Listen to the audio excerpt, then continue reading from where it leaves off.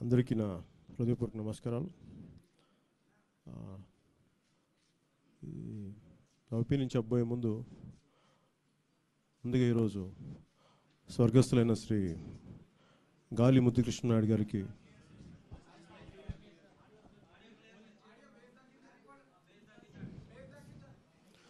గాలి ముద్దుకృష్ణనాయుడు గారికి అంటే దగ్గి తగిన వాయిస్ బాగాలేదు అందుకని.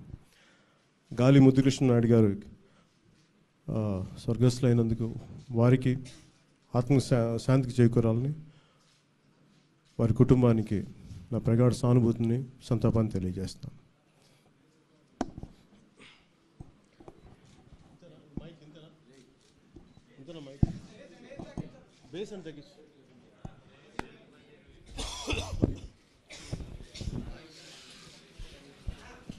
హలో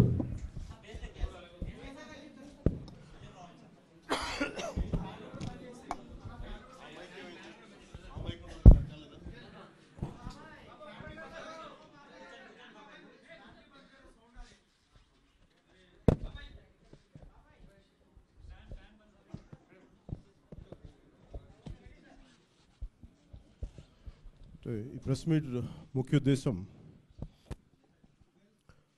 ఒక ఇరవై నాలుగు లక్షలు పైచిలకు బడ్జెట్ సెంట్రల్ బడ్జెట్ దాని గురించి మాట్లాడటానికి.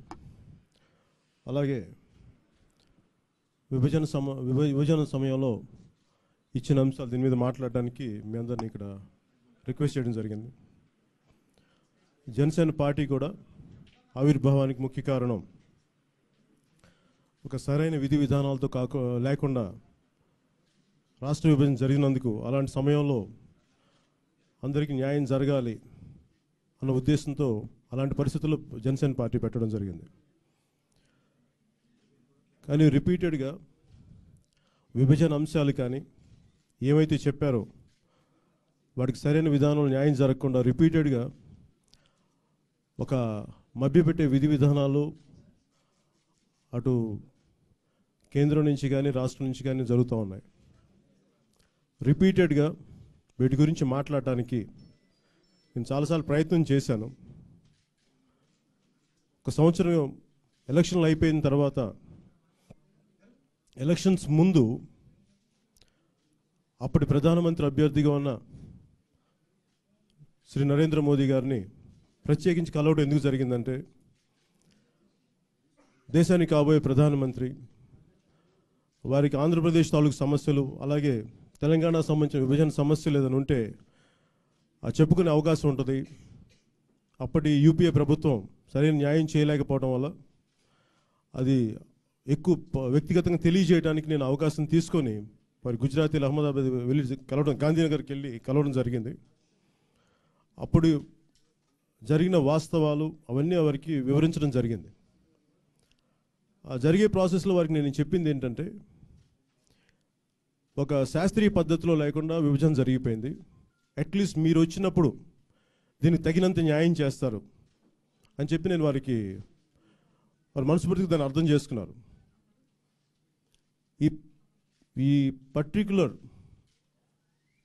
ఈ విభజన సంబంధించిన ఈ అంశాలన్నీ కూడా స్పెషల్ కేటగిరీ స్టేటస్ అప్పుడు నేను చెప్పి అప్పటికి నేను చెప్పింది ఏంటంటే ఇది నరేంద్ర మోదీ గారి సమయంలో అంటే ఆయన ఆధ్వర్యం లేకపోయినప్పటికీ అది ఆయనకు లెగసీగా వచ్చిన సమ- సమస్య ఇది. అందుకే నేను వాటిని ప్రత్యేకించి మొదటి సంవత్సరం మటుకు నేను చాలా సంయమనంతో ప్రవహించ ప్రవర్తించాను. సంయమనంతో అర్థం చేసుకున్నాను. ఒక న్యాయం జరుగుద్దని చెప్పి. కానీ రిపీటెడ్గా ఏదైతే భారతీయ జనతా పార్టీ మేనిఫెస్టోలో పెట్టారో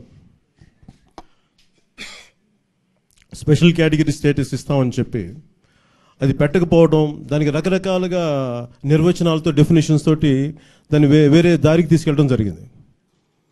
ఇలాంటి పరిస్థితుల్లో ముఖ్యంగా స్పెషల్ కేటగిరీ స్టేటస్ అనే పదానికి అప్పటికి మన్మోహన్ అప్పుడు ప్రధానమంత్రి మన శ్రీ మన్మోహన్ సింగ్ గారు చెప్పినప్పుడు ఫైవ్ ఇయర్స్ ఇవ్వడం జరుగుద్ది.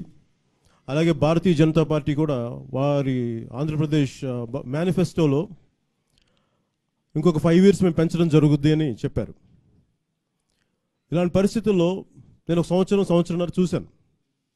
ఎందుకంటే నేను కూడా అంత రాజకీయ అనుభవం లేదు. కానీ ప్రజల సమస్యలు పట్ల అర్థం చేసుకున్నవాడిని పనిచేయడానికి సిద్ధంగా ఉన్నవాడిని కాబట్టి అపారమైన రాజకీయ అనుభవం ఉన్న శ్రీ నారా చంద్రబాబు నాయుడు గారిని మద్దతుగా ఉంటారని చెప్పి శ్రీ నరేంద్ర మోదీ గారిని సమర్థించడం జరిగింది. కానీ నాకు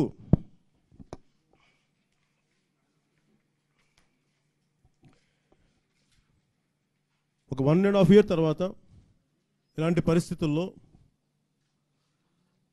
విభజన సమస్యలు ఏమి హామీలు ఇచ్చారో వాటి వెనక్కి వెళ్ళిపోవడం వల్ల ప్రతి ఒక్కళ్ళు మాట్లాడుతున్నా స్పెషల్ కేటగిరీ స్టేటస్ని ఎందుకు ఇవ్వరు అని అనడానికి నేను తిరుపతిలో స్టార్ట్ చేసి కాకినాడలోకి వెళ్ళిన తర్వాత స్పెషల్ ప్యాకేజ్ అనౌన్స్ చేశారు.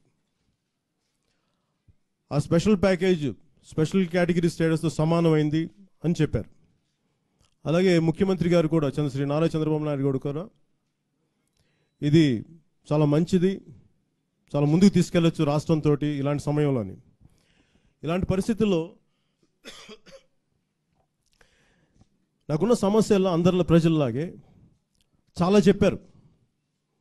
ఇన్ని వేల కోట్లు వస్తాయి ప్రతిదానికి ఇన్ని సమస్యలు మేము తీరుస్తామని చెప్పి. కానీ ప్రత్యేకించి కన్సిస్టెంట్ కన్సిస్టెంట్గా ఒకటే కన్ఫ్యూజన్ ఏంటంటే ఒకసారి బాగుందంటారు.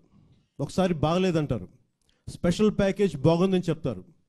ఒక సంవత్సరం తిరిగిన తర్వాత మళ్ళీ ఒక పదిహేడు అంశాలతోటి మళ్ళీ చంద్ర- ము- ముఖ్యమంత్రి గారు మళ్ళీ ఢిల్లీకి వెళ్ళి మాకు ఇవన్నీ చేయాల్సినవి ఉన్నాయంటారు. అలాగే ఒకసారి భారతీయ జనతా పార్టీ మేము ఇక్కడ ఏవైతే మేము ఇచ్చామో దేనికైతే ఖర్చు పెట్టామో డబ్బులు మనకి వనరులు ఇచ్చామో దానికి సంబంధించిన మీరు విధి విధానాలు మీరు ఎలా ఖర్చు పెట్టారో ఆ సర్టిఫికేట్స్ ఇవ్వండి అంటే మేము ఖర్చు పెట్టాం మేము ఇవ్వకర్లే అని చెప్పి చెప్పారు. ప్రతిసారి నేను క్లారిటీ అడుగుతున్నప్పుడల్లా సమస్య ఏంటంటే ఏదైతే ఉందో దానికి రాష్ట్ర ప్రభుత్వం నుంచి క్లారిటీ ఇవ్వట్లేదు. అలాగే భారతీయ జనతా పార్టీ ప్రభుత్వం సెంట్రల్ స్థాయిలో కూడా మేము ఫండ్స్ ఇచ్చాం అలాగే పోలవరం ఫండ్స్ ఇచ్చామని చెప్పి రకరకాల విధి విధ ఒక మాటలతోటి చాలా కన్ఫ్యూజన్ క్రియేట్ చేస్తూ ఉన్నారు. వీటన్నిటికీ బేసిక్ కన్క్లూజన్ ఏంటంటే ఏమైతే మీరు విభజన సమయంలో ఏమైతే హామీలు ఇచ్చారో వాటన్నిటికీ న్యాయం జరగలేదు. దీనిని నేను అక్కడ కా- మన కాకినాడ సంబంధించి మా సభలో నేను మాట్లాడి ఇంకా ముందుకు తీసుకెళ్దాం అనుకున్నప్పుడు దాన్ని అందరూ కలిపి చల్లారు చేశారు. ఇప్పుడున్న పరిస్థితుల్లో నేను ఈ ఇరవై ఇరవై నాలుగు వేల లక్షల కోట్ల బడ్జెట్లో ఆంధ్రప్రదేశ్ వాటా ఎంత? వీటి గురించి కంటే ఇవి చెప్పడానికి చాలా ప్రతిభాశీలు ఉన్నారు ఎక్స్పర్ట్స్ ఉన్నారు. వాటికన్నిటికంటే కూడా ఏవైతే విభజన చట్టంలో ఏవైతే హామీలు ఇచ్చారో అవి ఎంత మేరకు జరిగినాయి? ఎందుకు జరగట్లేదు? వీటన్నిటిని ప్రశ్నించడానికి నేను ఒక్కనే ముందుకు తీసుకెళ్తే నాకు సరిపోవట్లేదు. ఇప్పుడు నాకున్న ఒకే ఒక ఉద్దేశం ఏంటంటే రాష్ట్ర ప్రభుత్వం అడిగితే రకరకాల అంశాలతోటి రకరకాలుగా సమాధానాలతోటి కన్ఫ్యూజన్ ఉంది. అలాగే కేంద్ర ప్రభుత్వాన్ని అడిగితే మేము అన- అవసరం అవసరమైన మేరకు నిధులు ఇచ్చేసాం అవసరానికి మించి నిధులు ఇచ్చాం దానికి రాష్ట్ర ప్రభుత్వం సమాధానం చెప్పట్లేదు.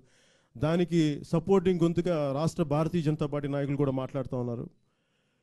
ఇప్పుడు నాకు జాయింట్ ఇప్పుడు ఒకప్పుడు తెలంగాణ జాయింట్ యాక్షన్ కమిటీకి రకరకాల పార్టీలు అందరూ కలిసి ఎలా ముందుకు వచ్చారో ఇప్పుడు నాకున్న ప్రపోజల్ కూడా ఏంటంటే శ్రీ ఉండవల్లి అరుణ్ కుమార్ గారిని లోక్సత్తా జయప్రకాష్ నారాయణ గారిని ఇలా అనేక మంది ప్రతి ప్రతిభావంతులైన నాయకుల్ని మేధావుల్ని కలుపుకొని ఖచ్చితంగా ఏదైతే విభజన చట్టంలో ఏవైతే హామీలు ఇచ్చారో ఇలాంటి కన్ఫ్యూజ్డ్ స్టేట్మెంట్స్ లేకుండా ఏవైతే మన ప్ర- ఒక ఒకవైపు భారతీయ జనతా పార్టీకి వీటన్నిటికీ ఖచ్చితంగా ప్రజల తరపున పోరాటం చేయడానికి ఒక జనసేన గొంతు ఒకటి సరిపోవట్లేదు. వీళ్ళందరితో కలుపుకొని ఇది ఖచ్చితంగా ఒక ప్రెషర్ గ్రూప్ ఏర్పాటు చేయాల్సిన ఆవశ్యకత అవసరం అయితే ఈ రోజున వచ్చింది. బడ్జెట్ వచ్చిన వెంటనే రకరకాల పరిస్థితుల్లో రకరకాలు వచ్చినాయి. ఈ రోజున నేను ఈ ఈ ప్రత్యేక ప్రెస్ మీట్ యొక్క ముఖ్య సారాంశం ఏంటంటే నమ్మకం అయితే పోతుంది. రాష్ట్ర ప్రభుత్వం మీద కూడా తెలుగుదేశం పార్టీ మీద కూడా. ఒక ఏమి వనరు లేని ఒక రాష్ట్ర ప్రభుత్వం మీద విపరీతమైన కరప్షన్ ఉన్న స్టేట్ అని చెప్పి స్థాయికి ఒక ఏజెన్సీ సర్టి సర్టిఫై చే ఒక చెప్పడం ఇది చాలా బాధాకరమైంది. ఇలాంటి పరిస్థితుల్లో అసలు ముందు ఫ- ఫండ్స్ ఎంత వచ్చినాయి రాష్ట్ర కేంద్రం నుంచి? దే దేనికి వెళ్ళినాయి? అలాగే యూటిలైజేషన్ సర్టిఫికేట్ గురించి చాలామంది అడిగారు. కేంద్ర ప్రభుత్వం కూడా నేను మొన్న ఈ మధ్యన చాలామంది కేంద్ర మంది నా ప్రత్యేకమైన కలుస్తున్నప్పుడు బ్యూరోక్రాట్స్ని కూడా మీ రాష్ట్ర ప్రభుత్వం యూటిలైజేషన్ సర్టిఫికేట్స్ ఇవ్వట్లేదు. అలాగే ఈ మధ్యన వైఎస్ఆర్సీపీ నాయకులు కూడా విజయసాయి రెడ్డి గారు అడిగినప్పుడు ఒక యూటిలైజేషన్ సర్టిఫికేట్ ఇచ్చామని చెప్పి అది ఒక కొన్ని చెప్పారు. ఇంక్లూడింగ్ రాజ్భవన్ ఇలాంటి చాలా వాటికి. కానీ ప్రత్యేకించి అక్కడ అమరావతి సీఈఓ వీళ్ళందరూ చెప్పేది ఏంటంటే అది మేము మెల్లిగా చేసుకునేది కానీ మేము చూపించేది కాదని చెప్పి రకరకాల అంటే ఒకటి ఒకళ్ళు మాట పార్లమెంట్ ఒకలా ఉంది ఢిల్లీలో ఒకలాంటి మాట వస్తుంది రాష్ట్ర ప్రభుత్వంలో ఒక మాట వస్తుంది అది ప్రజలకు చేరేటప్పటికి సో మెనీ కన్ఫ్యూజన్ దీంట్లో ప్రతి అటు కేంద్ర ప్రభుత్వం కానీ ఇటు రాష్ట్ర ప్రభుత్వం కానీ ప్రతి ఒక్కరూ ఎక్కడైతే ఒక లోపం అయితే ఉంది కొన్ని అబద్ధాలు అయితే ఉన్నాయి.